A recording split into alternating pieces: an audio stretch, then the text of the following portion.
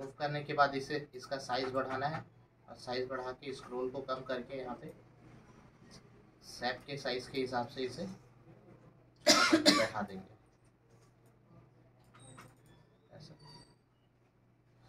थोड़ा बहुत और जूम करके देख लेना है। कहीं ऊपर नीचे छूट तो नहीं रहा है। ये, या यहाँ से ऐसे सेट कर लेंगे इधर। इधर भी देख लेंगे। ये इतने में आ जा रहा है। इधर ये इतने में आ जा रहा है। ऐसे मिला लेंगे अपने हिसाब से। इंटर प्रेस करके सेट कर दिए। हो गया। सेट ऐसे पेपर बैकग्राउंड वगैरह में जो है ना, हम फ़ोटोज़ को ऐड कर सकते हैं। ठीक है? और ये जो सर्कल आ रहा था, जो छोटा बड़ा करने वाला, वो कहाँ से सो एंड हाइड कर सकते हो? आप यहाँ से सो बाइंडिंग बॉक्स से। ये अभी हाइड हो गया, ये सो हो गया। तो हाइड एंड सो करना है तो आप लोग इनका भी यूज़ कर सकते हैं।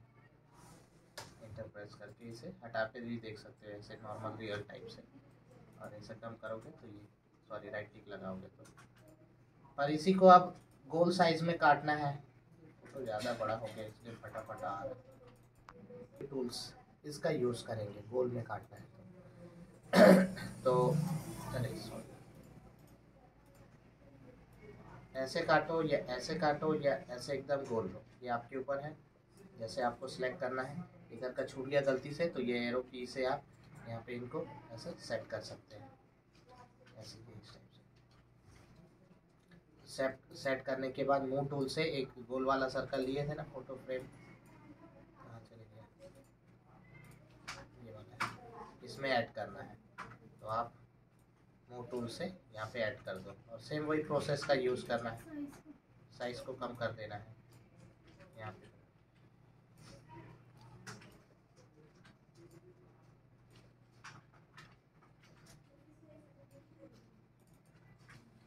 थोड़ा सा इसे ऐसे राउंड शेप में डालना है हल्का सा घुमाना है। तो यहाँ पे एक ये वाला आया देखो पॉइंटर में ऐसे ये सीधा खिंचाएगा और एक ऐसा वाला आएगा तो इससे थोड़ा सा बैंड होगा ये ऐसे इस टाइप से। तो जितना आप अपने हिसाब से लेना चाहते हो उतना ले लो। और थोड़ा बहुत ऐसे सेट कर दो। हो गया सेट फ्रेम में। ठीक है? क्लियर हुआ। और ये मूव टूल्स तो देख ही रहे हो आप लोग। नेक्स्ट आ जाता है हमारा ये polygon lasso tools polygon lasso tools का यूज़ देखे हो। लाइन से बता दे रहा हूँ। लेसो टूल्स लेसो टूल्स का यूज़ होता है। ये भी तीनों तीनों सेम काम करता है। सेलेक्ट करने के लिए ही करता है। फ़ोटो को काटने के लिए। तो इस फ़ोटो को हमें सिंपल सा सेलेक्ट करते थे और बैकग्राउंड को कलर करते थे। तो अब हम फ़ोटो को सेलेक्ट करेंगे और फ़ोटो को मूव टूल से उठाकर दूसरे बैकग्राउंड में लेके जाएँगे। जैसे इनको हम सेट किए सर्कल और बॉक्स के हिसाब से आ, किसी फ्रेम में। तो अब फ्रेम में नहीं सीधा फ़ोटो को काट के लेके जाना है हमें। तो यहाँ पे आप फ़र्स्ट लेसो टूल्स का यूज़ करोगे। लेसो टूल से क्या होता है हमारा? बस एक बार आपको माउस ऐसे दबा के रखना है और ऐसे चलाना है। तभी ये सेलेक्ट होगा। गलती से ये छोड़ दिए आप तो वहीं से पकड़। लेगा तो इसका बहुत कम यूज़ होता है। इसे हटा देते हैं। दूसरा यूज़ पॉलीगन लेसो टूल्स ये देखे हो आप लोग, ये स्टेप बाय स्टेप आपका सेट करने के लिए है। स्टेप बाय स्टेप ऐसे सेट करने के लिए।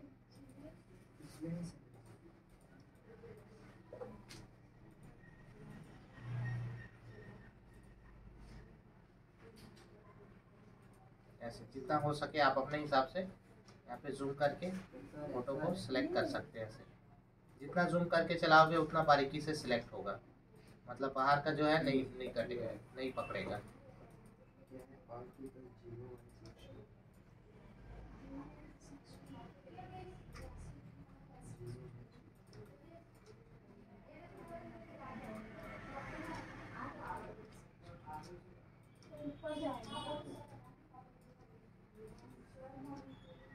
इधर का नहीं दिख रहा है फिर जूम कम कर लो ऐसे।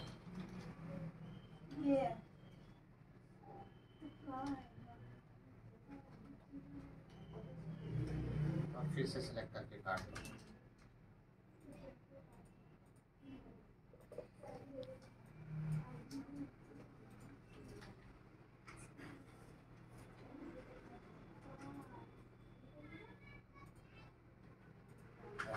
सिलेक्ट सिलेक्ट होने के बाद क्या करते हैं आप लोग? फैदर देने का काम करते हैं। फैदर दे दिए। फैदर दे के किस बैकग्राउंड में लेके जाना है फ़ोटो को? बैकग्राउंड एक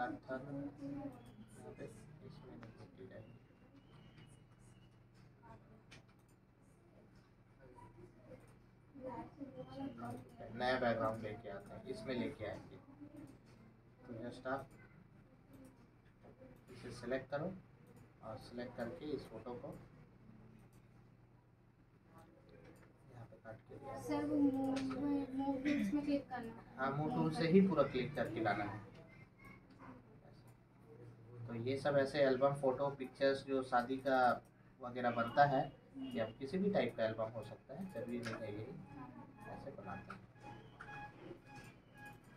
गया तैयार किसी का डुप्लीकेट करना है तो आप लोग कंट्रोल जे का यूज़ देखिए। अब डुप्लीकेट करने के बाद इस फ़ोटो को हमें सामने लाना है, इस फ़ोटो को पीछे लेके जाना है है ना? जबकि ये पीछे है, ये सॉरी ये सामने है, ये पीछे है। तो क्या करेंगे हम यहाँ पे? ये जो हमारा लेयर आया है, ये पीछे वाला कौन सा है? ये वाला है, और ये सामने वाला है। इसे हमें ऊपर चढ़ा देना है तो ये नीचे आ जाएगा, ये ऊपर चले जाएगा। ऐसे पकड़ के, आगे। अब इसे आप बैठा भी सकते हो, ऐसे दबा सकते हो, ये जैसा रखना है डबल टिबल ऐसे। और इस फ़ोटो को धुंधला करना है आपको। तो धुंधला करना है तो यही से धुंधला होगा ये ओपिसिटी और फ्लो से यहाँ से। ऐसे जिसमें हम क्लिक करेंगे उसी में होगा। हाँ, जिसमें पकड़ के रखोगे उसी में होगा ना वो। ऐसे। हो गया तैयार आपका। इसको हटा दो बन गया फ़ोटो एल्बम वाला। ठीक है? क्लियर हुआ ना? हाँ। और नेक्स्ट क्या है फिर? मैग्नेटिक लेसो टूल्स ये वाला। ये एक बार में ही सिलेक्ट हो जाता है। एक बार पकड़ो, पकड़ोगे और जैसे जैसे बॉडी के पास चलाते जाओगे तो ऑटोमेटिक सिलेक्ट होते जाएगा। तो इसे कैसे चलाओगे? इसमें बताते रहो इसको बड़ा कर लेते हैं। ये बस माउस को क्लिक करो एक बार, हो गया क्लिक उसके बाद माउस को बस ऐसे पास पास चलाते चलो। ये ज़्यादा